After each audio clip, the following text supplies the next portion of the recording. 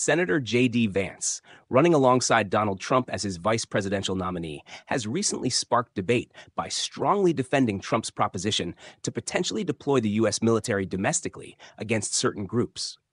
In a series of interviews, Vance explained that Trump's warnings about an enemy from within refer to what they see as violent far left groups, not ordinary Americans or Democratic politicians even though Trump has previously named public figures like Nancy Pelosi and Adam Schiff in such comments.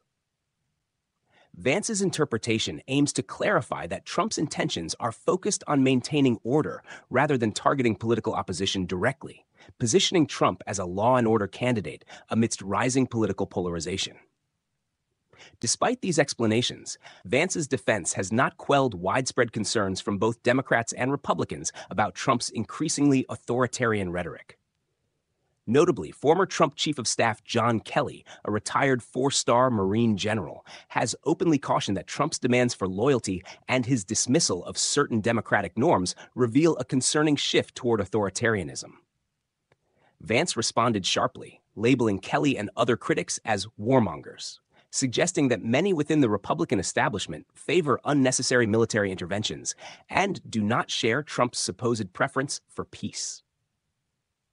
This theme of prioritizing domestic stability over foreign intervention has become a cornerstone of Vance's messaging. He argued that internal threats posed by left wing extremists surpass those posed by foreign adversaries like Russia or China. While Vance condemned Russian President Vladimir Putin's actions, he described Russia as a competitor rather than an outright enemy, in alignment with Trump's relatively conciliatory stance toward Moscow.